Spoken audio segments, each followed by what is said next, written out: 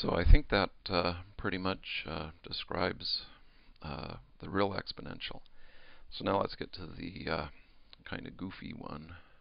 It's actually extremely useful, but it may take a minute for you to figure out why it, why anyone would ever want to do this. Okay, so um, we're going to introduce the idea of a complex exponential.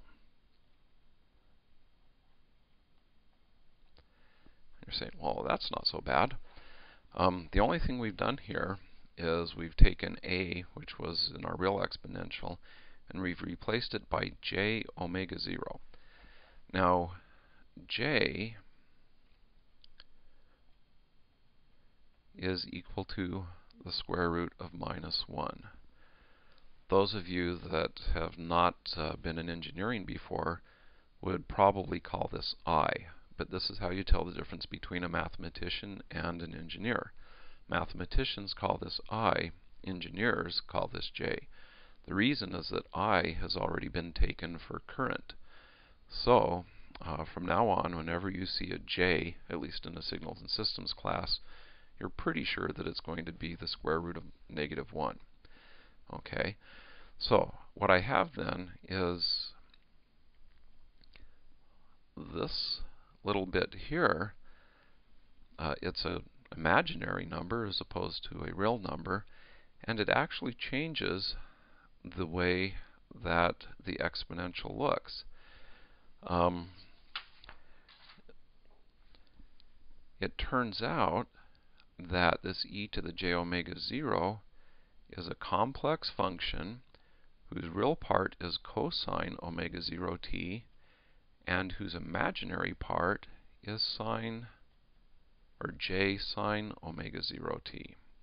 Okay, so this is the part that may be a little mind-boggling at first.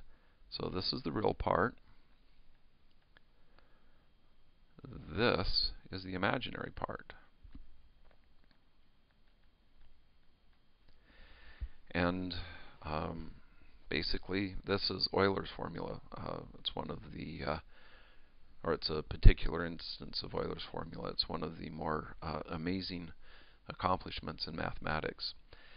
So it turns out that I can graph, um, if I want to, the real part of this function, and it looks like a cosine. So that's the real part.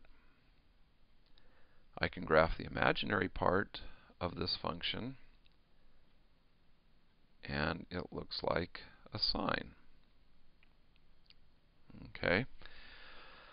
Um, we will use complex exponentials in uh, Laplace transforms. We'll use them in Fourier transforms. Uh, it turns out that they're just absolutely amazingly wonderful. Uh, they make life really easy um, once you get your head around the idea that there can be a function that has a real and an imaginary part. So uh, this concludes the uh, video on sinusoids and exponentials.